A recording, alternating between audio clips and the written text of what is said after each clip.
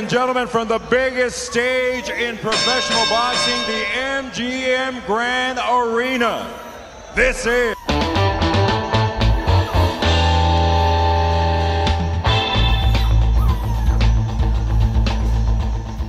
Something good. He's creating openings for Bradley by mounting his offense.